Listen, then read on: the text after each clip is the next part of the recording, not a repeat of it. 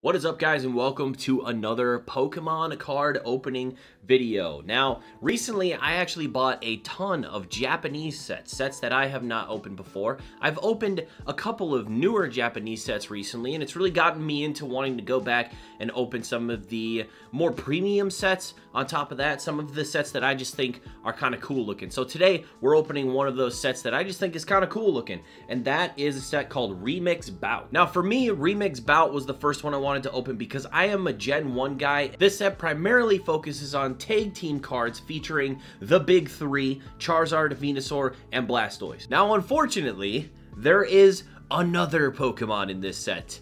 Alolan Persian plagues this set. All of the other secret rares and stuff in this set are fantastic, but Alolan Persian has a secret rare uh, in this set. And if you guys didn't know, in Japanese boxes, you're guaranteed one secret rare. Secret rares are a little bit different in Japanese boxes, and you'll kind of see why. A lot of the full art trainers are secret rares. A lot of the full art Pokemon cards are secret rares. On top of that, like rainbows or gold cards, stuff like that, are also secret rares. So it's not like in English where kind of the gold cards and the rainbows are really the only secret rares.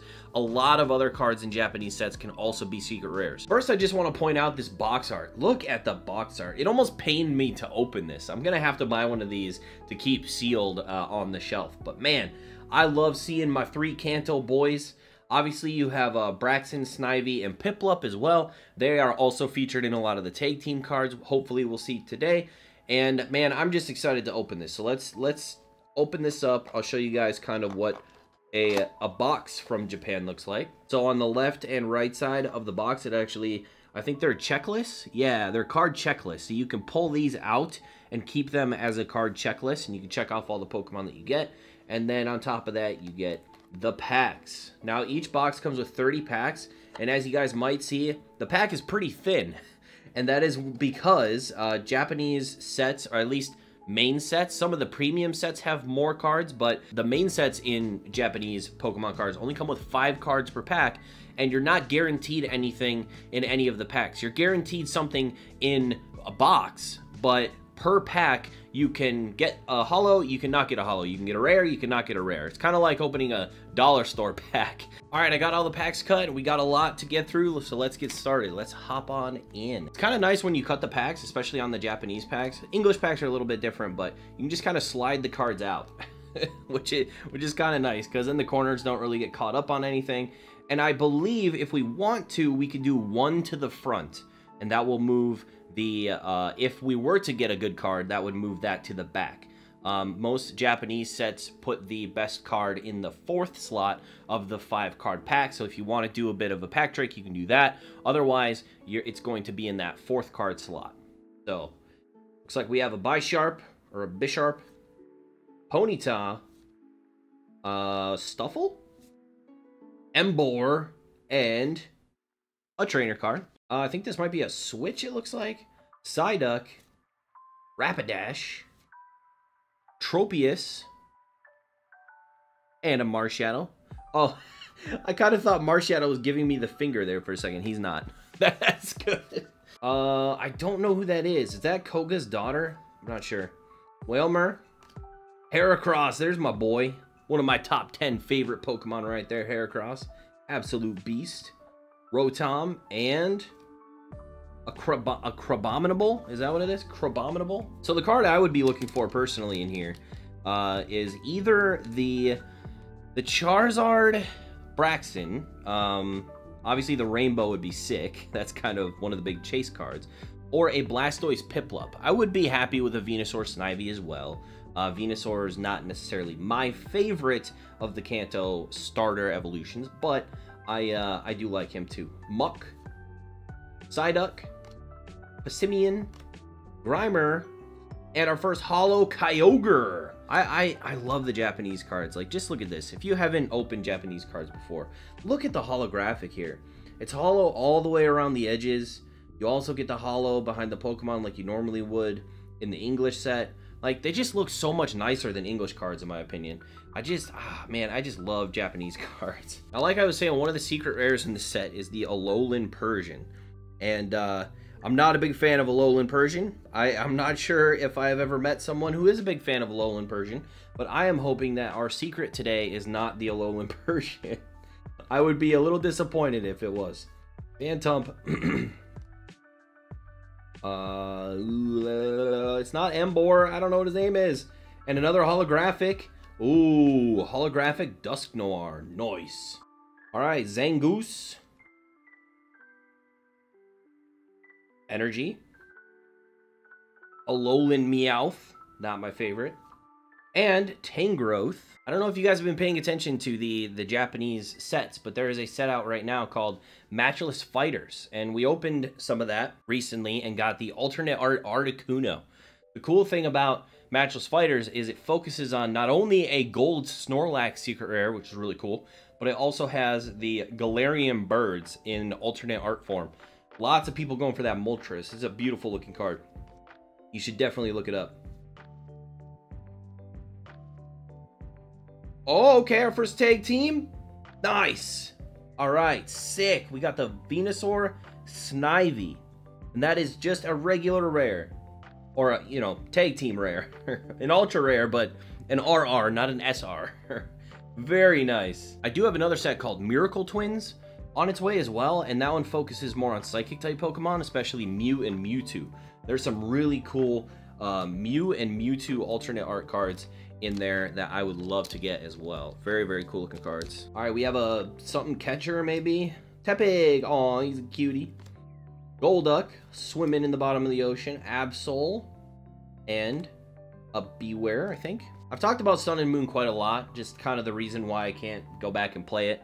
Uh, and I haven't played Ultra Sun, Ultra Moon just because it's got a bit of the same problem. I have a hard time getting past the initial tutorial in those games. It's quite long. I wish you could skip it, but unfortunately, it is the way that it is. Psyduck and a holographic.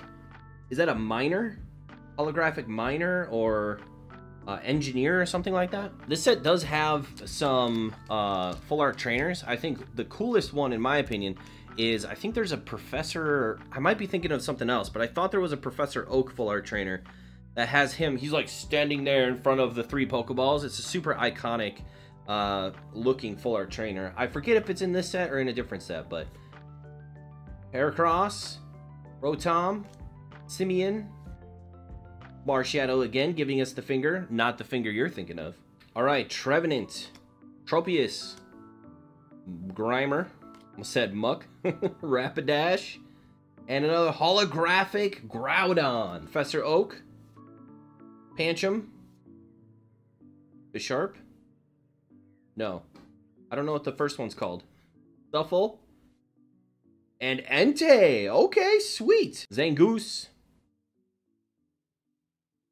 Absol Deerling and Bewear. Is, not the story behind Bewear like he can he'll, he'll, like hug you and crush you and kill you? Is it something scary like that? Like his hug power has the force of some sort of vice grip type thing and it would just crush a human being. Tepig, uh, Crab Guy, and then Emboar. Trainer, Deerling, Absol, uh, this guy, Whoa, okay, okay. We got, uh, all right, all right. We got the roller skater secret rare. Nice, very cool car. It's got it's got really nice uh, artwork on it, but not exactly the one that I was looking for. I gotta say, I definitely am happy that it's not a uh, that it's not an Alolan Persian. Very happy about that but it seems to be one that's very popular. Maybe maybe a, a higher pop of the card actually in the set. Kind of kind of the kind of the one that's fairly easy maybe to pull. Um, as opposed to the other tag team uh, cool ones like that. But you know what? That's really cool. I really like the full art trainers and the artwork on there is really cool. Is that look at they they inlaid a texture like here that's not here. You see that? It's a really cool looking artwork and card. All right, so sometimes, sometimes, I don't know if this is the case with sets, with uh, earlier sets, but I know in uh, the more modern sets, you can get a secret and a hyper. You can get both. I don't know if that's something that can happen in the Sun and Moon Japanese sets as well, or if that's a new thing, but it is possible. So I guess we'll still keep a lookout for something crazy, because it could be a thing. I don't know. Let me know in the comments if we still have a chance of hitting something big. When I opened uh, the Battle Styles equivalent in Japanese, we did hit a box that had not one, but two uh, secret rares. One was a Gold Houndoom, and one was a Phoebe. It was a pretty sick box. It was pretty insane. Uh, but it can happen. So, just not sure if it can happen this far back. Is that Blacephalon? I'm not... It, it's an Ultra Beast, I think. Uh, I don't really know much about the Ultra Beast, just because I didn't play uh, the Ultra versions of Sun and Moon. But, very cool. Another nice looking hollow from the set. Alright, Trevenant. Pangoro. Ponyta.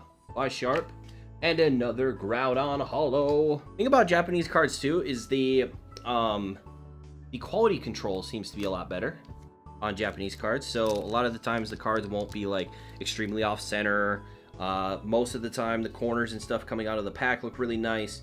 Even on the front and the back, you don't really have to worry about a lot of damage to the card straight out of the pack. In English sets, especially the ones recently, like Battle Styles, um, even Vivid Voltage had some issues. I know people complain a lot about evolutions. Uh, I think it's probably just because they're printing, they're trying to make up for kind of a lack of product on the line currently. So they're they're printing faster, which I think is kind of hurting the overall quality of the cards at the minute. But for some reason in Japanese, they all they always stay good. I don't know. They just have maybe they just have a better a, a better work ethic over there. I'm not sure. Here we go. Oh, hey, there he is, Alolan Persian. Thankfully, not the secret rare. I do like that the car that the packs only have five cards because you come away with a lot less bulk. You know what I'm saying? Like, there, there's a lot less you have to uh, you have to deal with afterwards.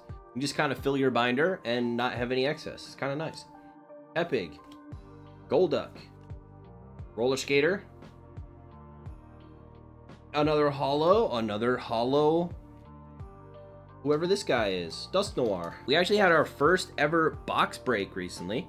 Uh, just last weekend. It was a lot of fun. We did $5 Battle Styles packs. Uh, my next box break will be Vivid Voltage, um, which will be cool. And we'll also be doing a little bit more of Battle Styles. So if you're interested in box breaks and you're seeing this fairly early on, you might be able to get into the next box break if you join the Discord. You should definitely join the Discord to uh, I notify them all about the box breaks and then they all message me and I, I kind of pre-sell a lot of the packs and then on the day of sometimes packs are still available you can get in then but definitely you should join the discord and when I ping about the break just reach out and DM me and we'll get you in on it Absol Roller Skater Tangrowth feel like we should be getting more GXs. I haven't seen very many GXs. I haven't seen very many tag teams either. I don't know what's going on. Oh, right when I say that, we get our Blastoise and Piplup. Man, I love, I absolutely love the artworks on these cards. Man, that's such a cool looking card. We might still be able to pull a Hyper. I'm not 100% sure, but uh, I'll, I'll, have to look it up and see if that can also happen in uh, like Sun and Moon boxes, like it can in the in the newer boxes from Sword and Shield? I don't know, but I hope so. Holographic, ooh, Victini, holographic Victini, beautiful. All right, here we go. Charizard Braixen. Holographic Guzzlord, is that what it is? Is this is this one Guzzlord? I, I don't know who thought up that name, Guzzlord. I cannot wait to go back to Japan, dude. There's so much that I missed over there, especially Pokemon related. I have so many, uh, you know, video ideas and things that I want to do when I go. Very excited. I got my vaccination recently, so that shouldn't stop me from traveling in the in the future. Golduck. Oh, right when I said it. Oh, yes, dude. That is a that is the second secret rare. We got the secret rare Blastoise and Piplup. That is it. Oh my god, yes! We got two secret rares in one box. Oh my god, on the last pack too. I did not think, I didn't even know if it was possible in the Sun and Moon boxes. We got the Blastoise and Piplup alternate art or full art, I guess. Tag team. That is beautiful. And our second secret rare. So not only did we get the Roller Skater Trainer secret rare, but we got the Blastoise and Piplup full art secret rare. Oh my god, guys, that is awesome. We got two secret rares in one freaking box. Yes, that's the second time that's happened. Super happy about that. Yes, dude, that is so awesome. All right, sick. That that that made the whole thing. That made the whole thing worth it. I was like cherry on top. Like I love the cards I got, but holy crap, slapping that one down at the end was like, yeah, this is super awesome. All right, guys, thank you very much for coming by. If you enjoyed the video today, please hit the like and subscribe button. Got to give a quick shout out to my one and only patron over on Patreon.com/JavaAkuma. Chris Box. Really appreciate it as always, man. And I hope everyone has a fantastic rest of your day. We'll see you on the next one.